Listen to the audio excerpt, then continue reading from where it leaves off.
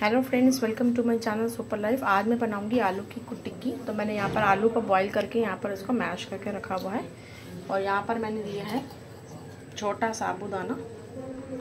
और यहाँ पर मैंने लिए है मटर। तो अब जो है, इसको मैं साबुत आलू को यहाँ पर मैं ये साबुदाना डाल दूँगी, ताकि ये क्रिस्पी बने।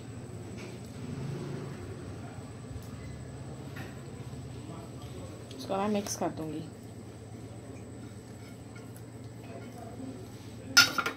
अब आप इसको इसी में से मिक्स कर दीजिए।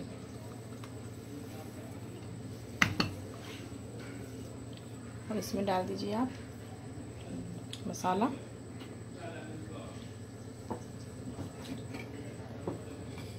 नमक।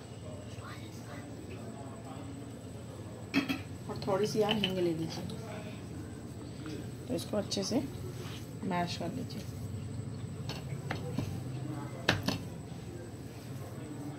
फ्रेंड्स मैंने इसमें मटर भी डाल दी है। तो अब ये मटर वगैरह सारा से लेके आप इस तरह से गोल गोल करके आप इसका टिक्की शेप में बना दीजिए। मैंने यहाँ पर देखिए बना रखी है। इस तरह से।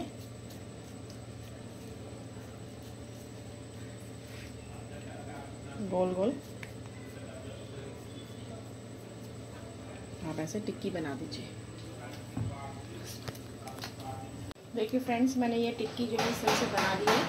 और यहाँ पर मैंने पानी तेल डाल के रख दिया है। और अब मैं यहाँ पर ये टिक्की जो है रख दूँगी।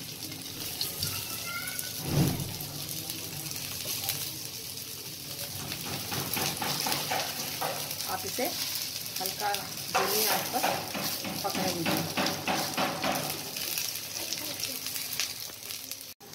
देखिए फ्रेंड्स मेरी टिक्की जो है बन के तैयार होगी। देखिए कितनी क्रिस्पी बनी है। आप ऐसे करके देखिए, कितनी क्रिस्पी है ये। अब मैं इसको नीचे उतार दूँगी। एक करके। देखिए कितनी टेस्टी है। और ये कितनी न्यूट्रेटिव भी है। ऐसा नहीं कि सिर्फ़ इसमें आलू ही आलू है। बाहर से अगर आप लेंगे तो सिर्फ़ आपको आलू की मिलेगी। मैंने इसमें साबुदाना और मटर वगैरह डाल के इसको काफ़ी न्यूट्रेटिव बना दिया है।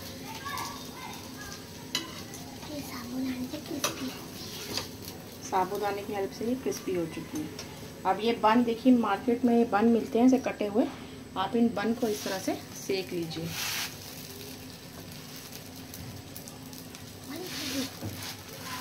यहाँ पे आप इनको सेक लीजिए अच्छे से। देखिए फ्रेंड्स सीख चुके हैं। तो अब मैं इसमें जो है, यहाँ पर बर्गर लगा दूँगी। चाट मसाला दे दो। देखिए, यहाँ मैंने इसमें टिक्की के ऊपर ये बर्गर बर्गर में ये टिक्की लगा दिया।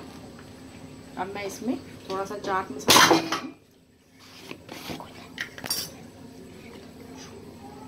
इस तरह से।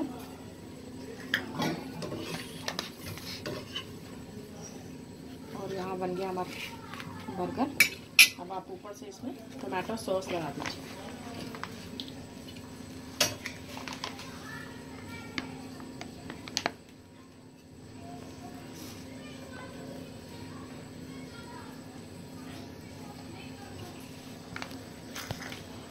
इस तरह से आप बना के खाइए और देखिए इंजॉय कीजिए। और अगर आप मेरे चैनल में नए हैं तो प्लीज़ आप इसे लाइक शेयर एंड सब्सक्राइब ज़रूर कीजिए।